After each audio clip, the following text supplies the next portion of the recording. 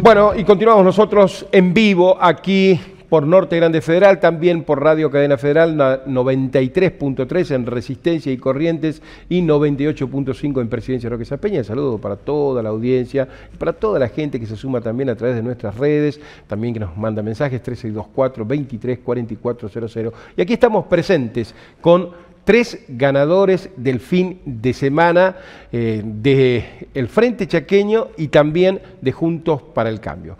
Estamos con a mi derecha Luisina Alita, ya oficialmente candidata a intendente de la ciudad de San Peña por el Frente Chaqueño. Así es, buenas noches, gracias por la invitación.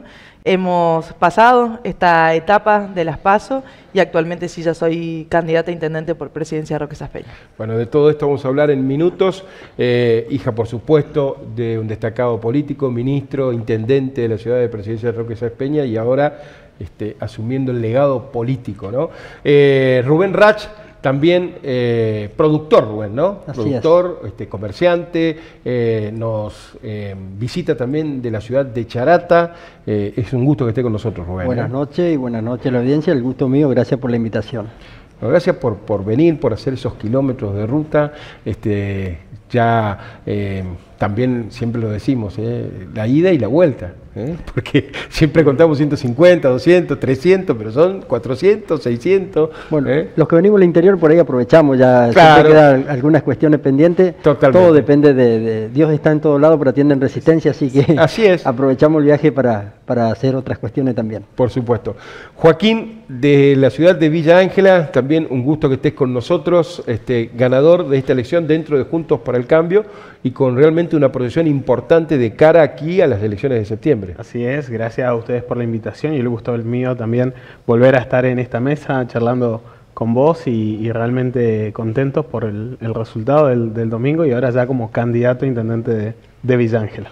Bueno, eh, justamente en Villa Ángela es un caso especial, ¿no? Porque eh, después de varias gestiones de Domingo Pepo, vino Alberto Pap y ahora eh, tuviste que enfrentar a gente dentro Juntos para el Cambio, a Gustavo Porro. Así es. Eh, pero hiciste una muy buena eh, elección, sacando prácticamente una diferencia de... 1.400 votos. Te iba a decir 1.200 votos, en el conteo final 1.400 votos. 1.400 votos de diferencias con el, con el otro candidato, un 60% de lo que es esta interna dentro de, de Juntos por el Cambio.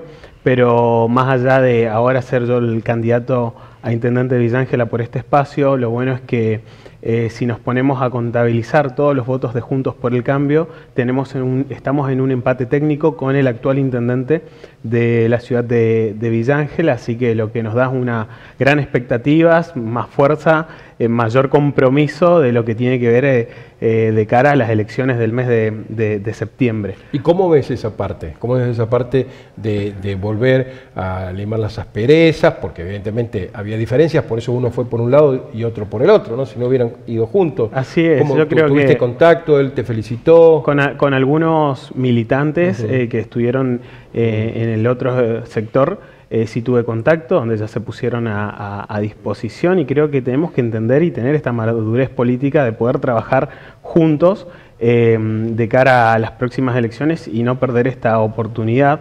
creo que es una gran elección que se hizo en Villa Ángela y creo que hay que destacar, digamos, de que en estas eh, elecciones o en estas internas dentro del radicalismo se dio de alguna manera en el marco del respeto, se dio en el marco eh, en, general de, poder eh, no estar atacando al adversario. Y creo que también hay que destacar el accionar de Juan Carlos Polini el día domingo, donde al saber los resultados fue y saludó a Leandro Dero y se puso a disposición de él.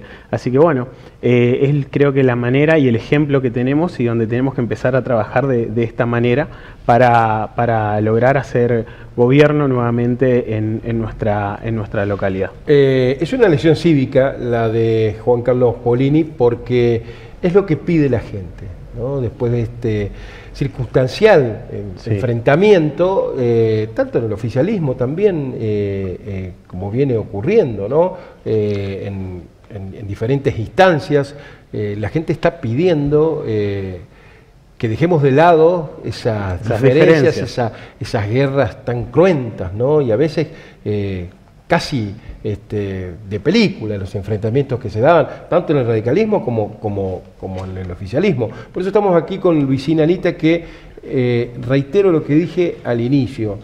Muchas veces se hace una gran expectativa, a veces las expectativas que se hacen eh, no condicen con la realidad. Y la realidad tiene que ver con varias cuestiones. Una que era una fecha especial, un feriado largo, escasa eh, participación de gente, no llegó al 60%, y también con el sistema, muchas listas, eh, también diferentes intereses y tres candidatos o precandidatos concretos dentro del mismo peronismo. ¿Cómo fue, cómo fue llevando usted eso, Luisina? Bien, nosotros en Saspeña tuvimos... de pie, ¿no? Sí, baja participación, muchísima más baja participación que lo que es la tasa a nivel eh, provincial. Y en ese sentido, bueno, por muchos factores que, vos decís, nosotros teníamos dentro del frente ocho precandidatos a intendentes y también eh, de base justicialista, tanto el SER como el Frente Integrador en sí. Es por eso que quizás, bueno, siempre esas peñas es un poco complicado a lo que es la conformación de, estos espacios, pero bueno, nosotros salimos eh, ganadores, electos en esta oportunidad. Venimos ya de una interna, de una elección interna, eh, meses atrás, en el cual también me consolidé como presidenta del Partido Justicialista. Y en ese sentido, bueno, nosotros estamos eh, conformes porque hicimos una buena elección, pero más allá de eso, consolidamos un proyecto político prácticamente nuevo. Y es lo que quizás en Saspeña es lo que más atrae por el hecho de que nosotros, nuestro espacio utiliza muchas otras frases, nosotros, esta nueva generación, venimos a arreglar lo que no rompimos. dentro del peronismo saspeñense. Entonces, ese trasvasamiento generacional, esa conformación de nuevos equipos, de nuevas personas que son independientes, que vienen de base justicialista, creo que nos dio ese triunfo dentro del frente y es lo que le queremos mostrar a la sociedad saspeñense, nuestros deseos, nuestras propuestas y la conformación de un, equipo nuevo sobre todo. Bueno, nosotros pensábamos hoy, y lo hablábamos inclusive en la pausa, eh, imagino que correteabas por tu casa y veías que hacían política o comían asado, eh, políticamente, digamos, eh, este, no es que todo el día comían asado, ¿no? que no lo malentiende la gente, pero por lo general, este, las reuniones, me imagino, se habrán realizado en tu casa, habrás escuchado, aprendido. Sí, eh, y sobre todo lo, que em, me transmito hace, tiempo, una política netamente de hombres, porque en mi casa, donde se realizaba, anteriormente la política más mayoritariamente se hacía en las casas familiares y la familia participaba de lo que de lo que eran las visitas, las reuniones, eso. Y eran todos hombres, prácticamente eran todos hombres, en el cual bueno, yo eh, miraba lo que acontecía y a diferencia de lo que hoy, la participación de la mujer en la política ha avanzado un montón, pero no solamente en la participación, sino en la conformación de listas y en la toma de decisiones y en la toma de poder tener decisiones a la hora de armar eh, o de formar un equipo y un proyecto político. Eso ha cambiado un montón. Eh, de lo que era en aquella época hasta ahora, pero también, aparte de esas reuniones, eh, de chica también he participado de eh, curaciones que nos íbamos al campo con mi papá, con todo el equipo, donde la política se hacía también en la calle en sí, con mucha participación de, de, la población en sí. Así que para mí eh, eso es mi formación ya de chica. Posteriormente, obviamente, hice mi propio camino profesional y en el 2019 ya tomo la, la, decisión de conformar una lista con Daniel Capitanich en ese entonces. Eh, estabas este, un poco reacia en ese momento de participar en política, ¿no? Sí, sí, sí. Sí, bueno. Eh, tu apellido era sinónimo, sí, obviamente tu, tu, papá fue intendente, además, bueno, recorría todo el interior, yo lo conocía a, tu viejo no de esas peñas, sino, digamos, de, sus recorridas en el interior. Pero eh, es como que varias veces te viste tentada, pero no querías mezclar las cosas con la familia. Claro, no? ahora no, ahora no es de esa manera. Pero, a ver, era en un momento donde estaba en la línea del ex gobernador Pepo, en el cual yo no tuve participación eh, en ese esquema en sí, porque, bueno, desde ya hace mucho tiempo, en el año 2005 o 2006, nosotros todos, nuestra formación, acompañamos al actual gobernador Jorge Milto Capitanilla. Entonces uno por ahí eh, lo acompañaba más a él y, no formé parte de, ningún esquema en sí en el, gobierno de, del ex gobernador y ya en el 2019 cuando vuelve Jorge Milton Capitanilla a presentarse, sigue de lleno, eh, obviamente acompañándolo siempre.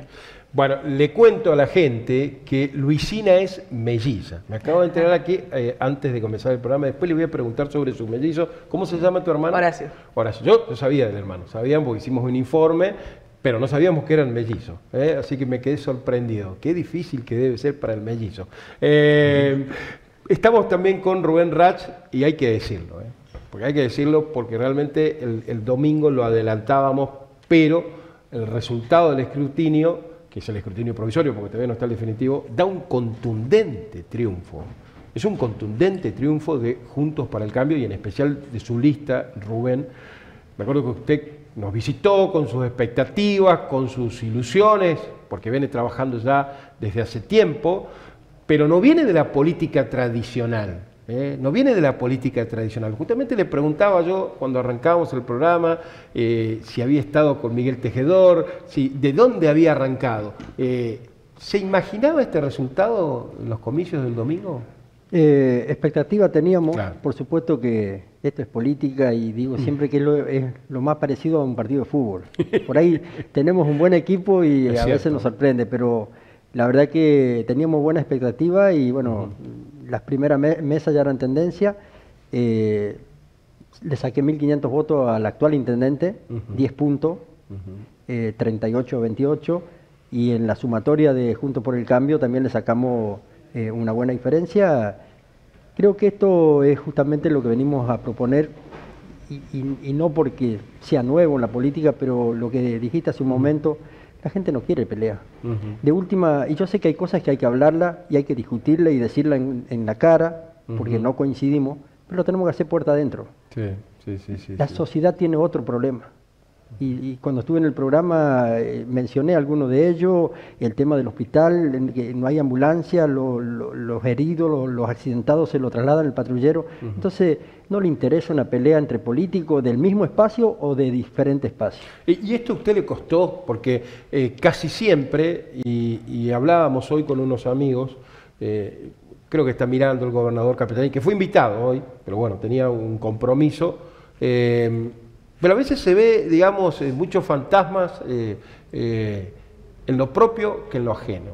A, mí me parece que este tipo de elecciones, paso, donde hay mucha compulsa, donde hay muchas opciones, me parece que hay un círculo inmediato que está más propenso a, defenderse, a, a, mirar fantasmas que a construir. Pero porque realmente eh, es una lectura que por ahí uno hace. Usted, no lo notaba, porque a veces hay unos círculos inmediatos que todo el tiempo el choque, el choque, el choque, y esto es lo que cansa. Totalmente, pero e, es justamente lo que tenemos que modificar. Bueno, nosotros tenemos en Charata, o tengo una ventaja, que el equipo prácticamente lo hemos armado en el 2019. Después, cuando sucede una, derrota de un, gobierno, como en Charata teníamos 20 años de, la intendencia radical, eh, exactamente, se reestructura todo. Entonces, por ahí hay un recambio generacional también. Y bueno, me tocó liderar justamente ese recambio. Yo entré como concejal y, tomé la posta y armamos un, lindo equipo. Y le, hice entender a los chicos y a los de mediana edad, por ahí nuevo en la política, eh, que hay otra forma de hacer política. Y, creo que esto está dando resultado. Eh, a ver, ganarle al oficialismo de la forma que nosotros le hemos ganado, eh, porque siempre digo, desde la oposición es más difícil ganar al oficialismo Por, lo, por todo lo que significa. pero hicimos llegar lo que nosotros proponemos y como te dije, tratar de al, ciudadano plantearle, mostrarle los problemas que hay pero cuáles son las soluciones que nosotros venimos a plantear. Y creo que la, gente entendió eso. Em, volviendo a la ciudad de Villa Ángela, Joaquín, eh, Adalberto Pap iba con una boleta corta, ¿se llama? Así es, boleta corta, él iba Pero él llegó por, la Gustavo Martínez ahí. En su momento, en el 2015, llegó por Gustavo Martínez. O sea, él representaba, guíame un poquito, ¿no? A unir eh, esta vez utilizó la boleta corta con UNIR, que también utilizó en el año 2019. O sea que él no fue candidato del SER. No fue el candidato del SER ni tampoco del Frente Chaqueño. Él fue con lista corta con, con, este, con este partido. El Frente Chaqueño también tuvo su interna. ¿No va a desdoblar ahora? Hasta el momento no. Hasta el momento no, no, no, hay noticia de que desdoble la, la, elección. Pero creemos que no, creemos que no, eh, pero, pero a nosotros no, nos toca, creo que esta, esta elección para, para septiembre, como te decía anteriormente, muy optimista porque vemos que la gente está buscando un cambio. Dentro de los otros frentes también eligió tal vez candidatos eh, que no eran habituales, que, que, buscaban de alguna manera este recambio generacional que tanto necesita y como siempre digo, Villángela tiene que volver a ser lo que alguna vez fue. Hace, hace 20 años que eh, en nuestro espacio político dejó de ser eh, gobierno con aciertos, con errores, con por distintas cuestiones y creo que hoy tenemos que tomar nosotros o mi generación la posta para poder empezar a trabajar por la ciudad que queremos, empezar a trabajar por eh, cada, cada, una de las necesidades que hay en, eh, en Villángela y creo que lo que dio fruto es este contacto con la gente que pudimos generar. Nosotros lo que nos destacamos es por salir a, recorrer barrio por barrio, lo vengo haciendo desde hace más de tres años y medio, desde mi rol de como concejal, Claro. Y, más fuertemente en, esta, en, este, en este tiempo eh, de, campaña, donde siempre decimos nosotros no venimos a suponer los problemas que tienen los villangelenses, sino más bien los conocemos de primera mano y también en muchas cuestiones eh, los, tenemos que, los tenemos que padecer. ¿Cuántos años tenés vos, Joaquín? 29 años. 29. ¿Y usted, Luis? 34. 34. Bueno, eh, generación... Este, eh, de renovación, como lo decía eh, Rubén Rat. ¿Usted cuánto tiene, Rubén? 52. 52, bueno, aunque no parezca. Somos. Prácticamente, somos milenios. Bueno, somos prácticamente contemporáneos. ¿eh? Yo estoy por cumplir 52. Luisina, hablando de que, lo, lo, decía Rubén, trasladamos el caso tuyo. Así como él enfrentó, digamos, el oficialismo, vos también lo enfrentaste en esa Espeña. Y enfrentaste a todos juntos, porque estaba Karim Peche, Bruno Cipollini y llegó la reta la última semana. Así es, y Morales. ah, Morales también. Morales. Bueno, Así es. Pero, ¿y cómo, cómo se hace ahora de acá a septiembre? Porque bueno, esta fue una, elección extraordinaria, digamos. Sí, una, una elección un poco difícil. Sí. Y nosotros venimos haciendo lo, mismo que él, eh, parecido hace casi cuatro años. Eh, tres años y medio, un programa que se llama ¿Qué pasa en el barrio? Así se denomina el programa, donde vamos a cada eh, barrio, hablamos con los vecinos y de hecho la propuesta de nuestro espacio político si bien fue supervisada por nosotros, fue mayoritariamente propuesta por el pueblo. Es decir, que se basa en cuatro ejes principales, que es los que mayoritariamente necesita Saspeña. Uno es el déficit habitacional y la urbanización, otro el transporte público de pasajeros, el trabajo privado eh, de calidad y todo lo que tiene que ver con los números del municipio en cuanto a salarios de los municipales. Esas cuatro ejes principales, si bien nosotros los supervisamos, lo podemos ver, somos aspeñenses, dormimos en Aspeña, fueron propuestos por el pueblo y nosotros adaptamos la campaña y los ejes de, gobierno a lo que nos decían los vecinos en sí, eh, de Saspeña, obviamente eso se acrecenta eh, o se intensifica en el momento electoral, 30 días antes, pero esto se viene eh, ya materializando hace un montón de tiempo. Le iba a preguntar, ¿se inauguró el edificio Procrear ya? ¿Ya se entregaron todas las, viviendas? ¿Cuántos, ¿Cuántos, departamentos hay? Son 74 departamentos, obviamente destinado a una clase social media, media alta, pero, a ver, pero con un déficit habitacional. Inmenso. Nosotros en el año 2016 fueron las, las últimas entregas de vivienda en Saspeña de plan y posteriormente se empezó a hacer un plan de vivienda y se paralizó en el gobierno bueno, de Mauricio Macri y al retomar eh, Capitanich el gobierno eh, empezaron las obras otra vez de, esas viviendas que estaban paralizadas en sí, que fueron alrededor de 200 y pico, que ya fueron entregadas, más lo que fue el programa Procrear con 74 departamentos y ahora otro más, pero eso ya depende de IBDU, con 32 eh, departamentos con la posibilidad de hacer 32 más. Eh, Rubén le iba a preguntar porque justamente es un déficit en general en todas las provincias, el déficit habitacional.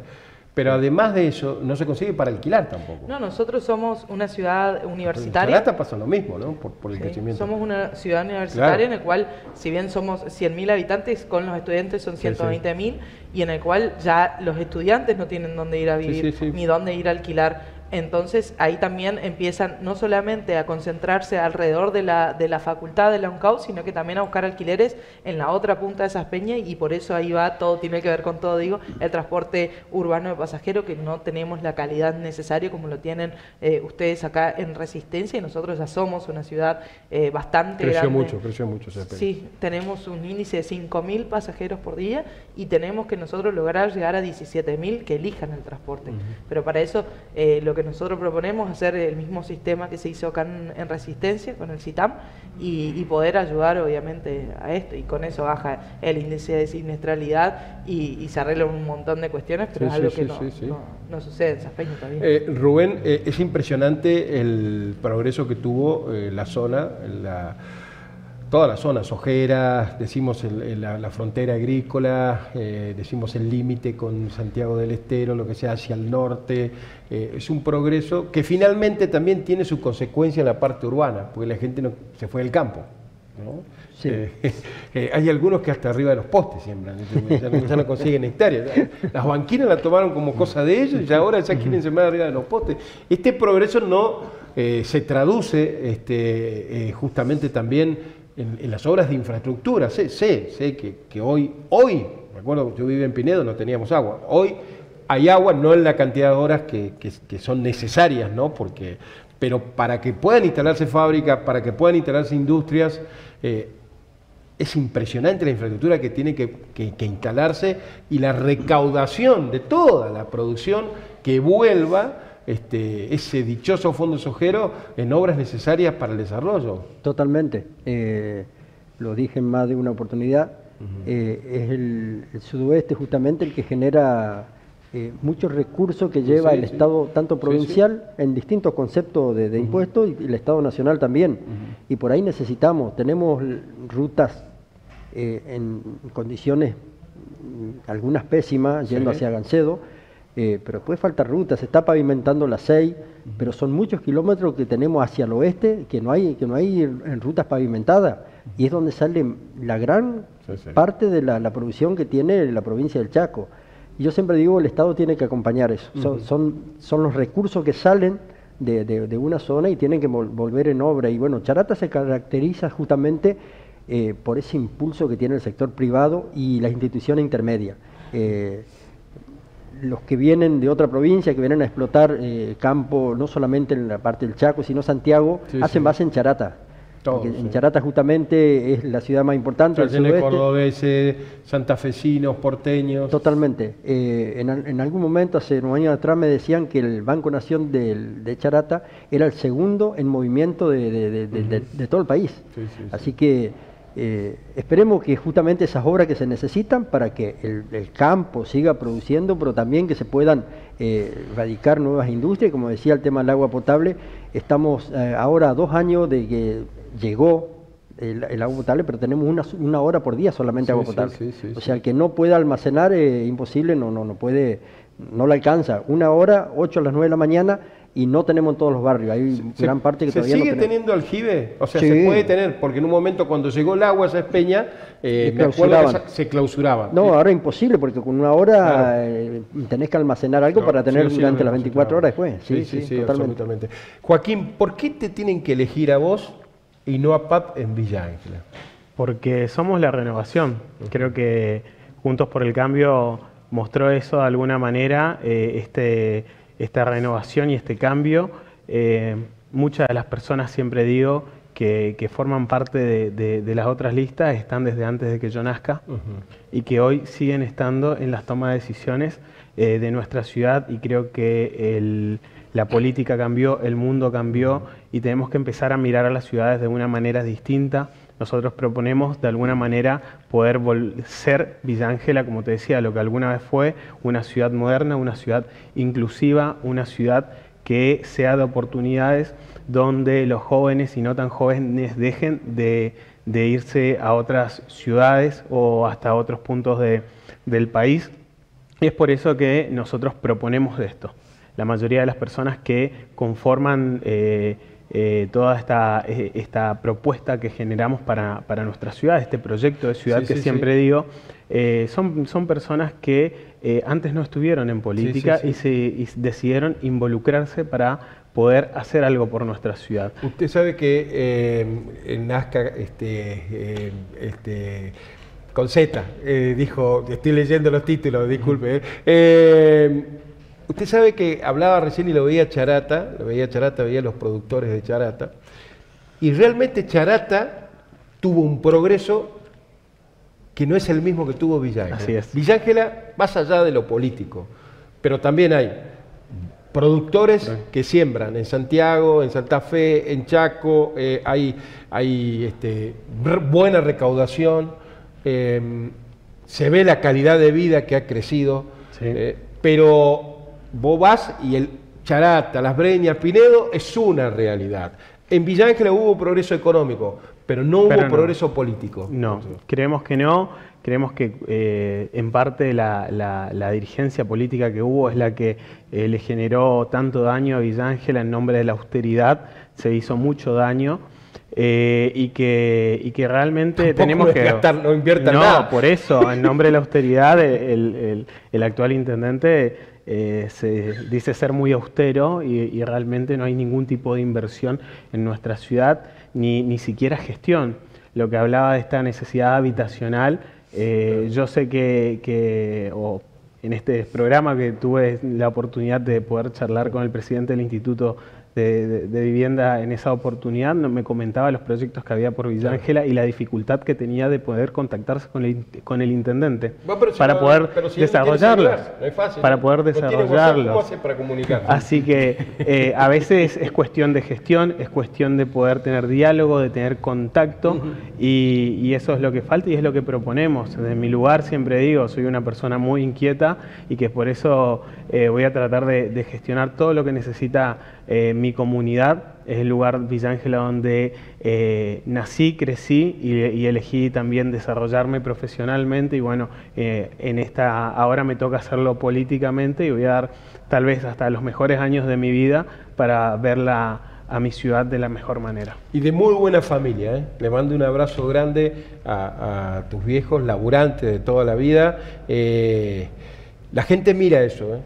Eh, ya las redes podés inundar con lo que sea, que está bueno, pero detrás mira la familia. Y te veía con tu hermano. ¿Cómo, ¿Cómo se comparte la política con un mellizo? Y bueno, siempre digo que él es el estructurado. ¿No quería ser el candidato él? ¿No pasó? No, no, no. Ah. Él, él, es el estructurado, si bien tiene un perfil bajo y yo soy totalmente todo lo contrario. La chispa. La chispa, la que, si bien soy metódica, pero un poco... Eh, sí.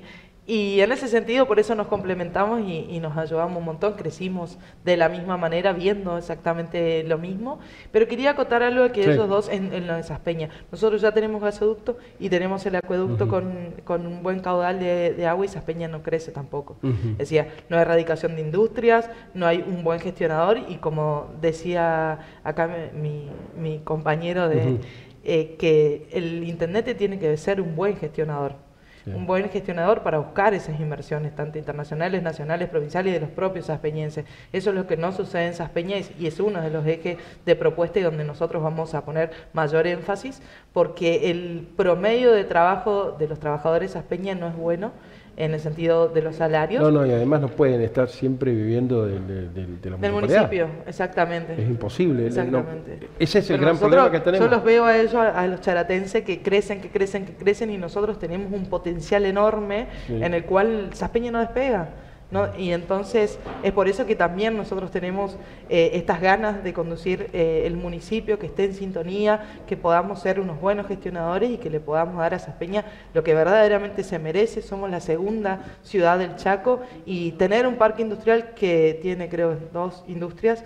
Eh, es poco, es poco para lo que nos merecemos. Muchas gracias Joaquín por visitarnos. gracias a vos. Eh, por, invitarnos y, gracias por el espacio que siempre nos das. No, no, por favor. Eh, además, este, eh, toda la zona la conozco. me emocioné el otro día como vi, cómo vi el progreso, pero muchas veces el progreso económico no se traslada al, desarrollo. ¿no? Así es. me chocaban las camionetas. Nos chocaban las camionetas en las esquinas. Este, pero bueno, eh, hay mucha gente que también eh, la está pasando mal porque no tiene laburo o porque no tiene las obras necesarias. Gracias Lucina también por visitarnos. muchísimas gracias a usted. Me encanta tu programa, lo sigo todos los miércoles, así que para mí es un honor estar acá contigo. Muy amable, muy amable Lucina. Rubén, ¿por qué lo tienen que elegir a usted? si sigue esta proyección, estoy hablando con el nuevo intendente de Charata. Bueno, ojalá que así sea.